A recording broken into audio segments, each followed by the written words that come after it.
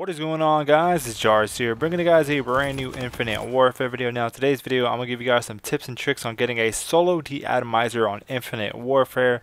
This is going to be for most of you players that haven't got one yet, or just someone who can't find a party and needs to basically do a solo because they can't get a group, so let's get into it. Alright, so first of all, you want to start off with game modes and classes. Now some of the classes you want to be using, obviously there's like three variants in the game, but the main one you want to use is the NV4 with silencer can choose the attachments you want, but I'm suggesting something like quick draw or stock and then extend the mags if needed. If you're a person that doesn't really need a lot of perks, I would use the class that I'm using, which is extend the mag, stock, silencer, and quick draw. But if you need something like dexterity and ghost together, you can take off extend the mags, put dexterity and ghost, and just have quick draw, stock, and silencer. But mainly just try to have silencer to stay stealthy on the map, quick draw to snap on people if you're in the situation where you need to aim quickly, and so you don't lose gunfights. Ghost you stay off the radar so you don't get like found easy by the whole team.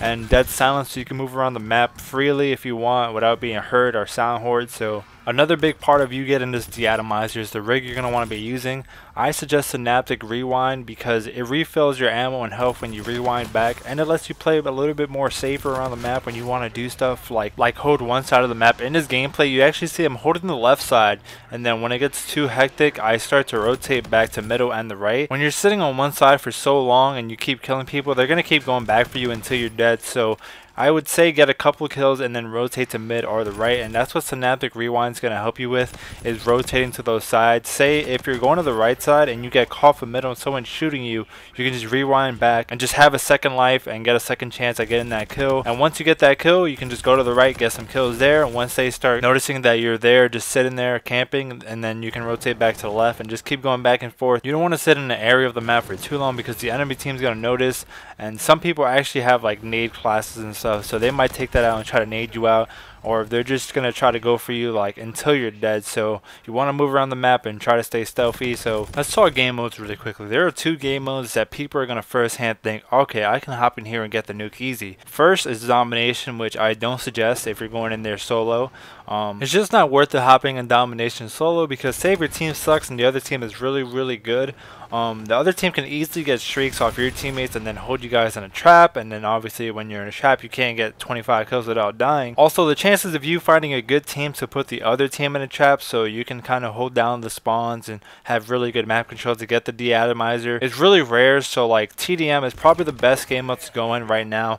Um, there's a lot of low levels. There's not really spawn trapping, which you can spawn trap, but your team's going to have to play perfectly like in the middle and like kind of know where to look sometimes. But you can't get spawn trap if your team is doing bad, and you can kind of roam around the map just picking people off, playing on the edges of the map, and just like rotating back and forth and trying to play stealthy. So yeah, like I said before, TDM is the way to go. If you can get a group of six, sometimes play Dom, it's more controlled, easier to trap the other team, and just easier to hold a lane, but obviously this video is for solo players, so you're going to want to be hopping in TDM. You're not going to get it on your first game, but give it a couple of tries, like learn the maps, learn how to move around the edges of the map and rotate, and like get used to staying on one side of the map, getting a couple kills, rotating to the other, and then doing it back and forth until obviously you get the deatomizer. Alright, so one last thing before the video ends, obviously you want to have really good map awareness.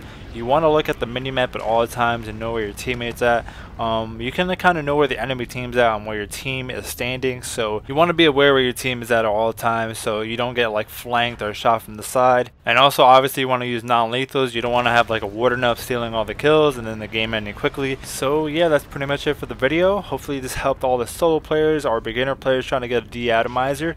Um, let me know if the tips help down below in the comment section. And yeah, give the video a like rating, subscribe, and share and I'll see everyone in the next video. Peace.